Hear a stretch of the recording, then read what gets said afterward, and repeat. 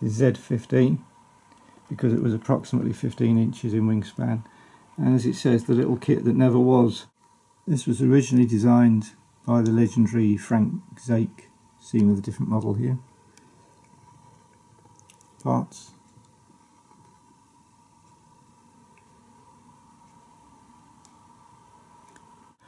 Frank Zaic got a couple of boys to make a prototype uh, but he didn't ever kit it so this was a new design as it were um, really published that is in the uh, legendary and sadly now defunct Flying Models back in October 2011. Interesting article by Jim Lucan about how Frank Zaic got him when he was a boy to make the prototype.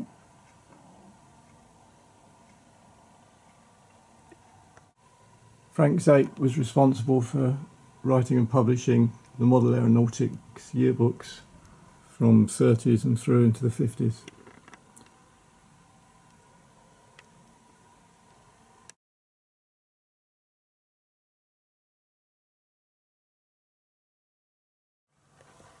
Now you'll notice there's only one wing half so I have to make another one uh, on top of this one to make sure they're both the same.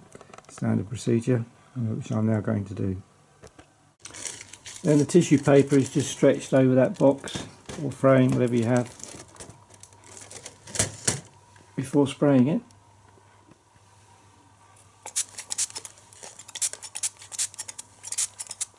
That's now dried into a fairly wrinkle-free sheet of pre-shrunk tissue, which uh, I can now use for covering. So this is coming together now. And I'll just point out a couple of things I had to do that weren't on the plans. First of all, you can see under the wing there, on the pylon at the top, there's a support either side. Because there was no way that that 16th of an inch pylon was going to successfully hold the wing. So I had to uh, improvise a bit there.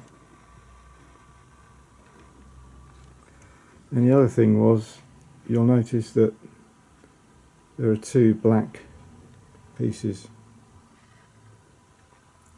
And they're plastic covered um, wire. They're actually paperclip pieces.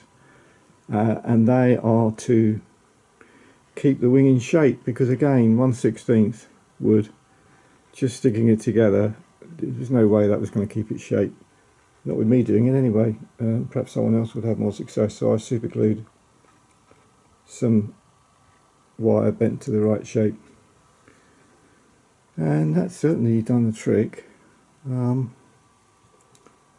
single-sided paper as you can see as per instructions.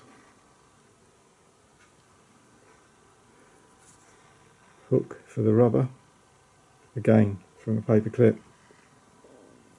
And I do happen to have this propeller which is similar to as shown on the instructions but bigger. So I've got to um, see whether it's too big but I've got some other options but that's um, that's the good bit which is it's the same fitting as on the instructions. So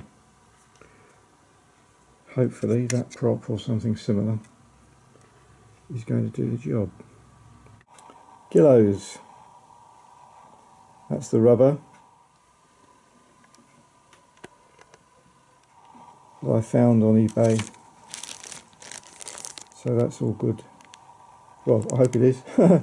it's 3 16 rubber. I'll pre-stretch it and lubricate it as per Don Ross's book to give it a reasonable chance of having a longish life this particular prop's too big. It's about seven inch and need to five and a half or maximum six. But I've got some of these wires, so um, and the fitting, as I say, is correct. So I need to look out now for five and a half inch prop. That stick that's bound and glued to the top there that holds the two pieces of the stick fuselage together. Um, that's supposed to be spruce, didn't have any spruce, so it's hard, very hard also. I think that'll do the trick. I think this is my best option for the prop. Um, let's measure it, see what it comes out at.